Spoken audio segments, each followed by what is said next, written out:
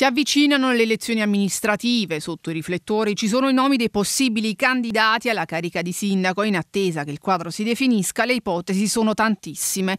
Nelle ultime ore a tenere banco era stata la possibile convergenza tra centrodestra e centrosinistra intorno al presidente dell'Ordine degli Avvocati, Fabio Benigni. Nel campo moderato di matrice De Midiana invece ad emergere dopo che per mesi si era già parlato dell'ex manager del Moscati, Pino Rosato, inizialmente si era fatto il nome del gastroenterologo dell'ospedale di Ariano, Luigi Pasquale, ma con una nota lo stesso medico ha smentito la notizia.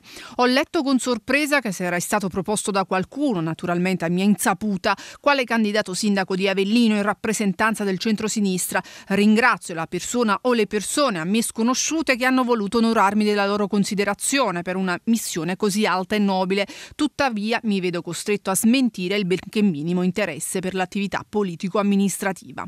Nell'area del Partito Democratico ci sarebbe Umberto del Basso De Caro che potrebbe esprimere una propria candidatura con Enza Ambrosone o Donato Pennetta. Dall'altro c'è Gianluca Festa che è già al lavoro per definire due liste di candidati. Da non dimenticare poi i nomi sempreverdi di un altro medico, Gennaro Bellizzi e del prefetto Raffaele Cannizzaro. Nel bacino dei Democrat però bisogna inserire anche la candidatura dell'ex presidente della provincia, Luigi Anzalone, mentre resta da sciogliere il nodo sulla dimensione politica di Luca Cipriano. Sempre a sinistra resta da capire come si muoverà l'ala di Liberi e Uguali legata al consigliere regionale Francesco Todisco che sembra intenzionata a puntare su un progetto di centrosinistra largo e discontinuo rispetto all'esperienza Foti.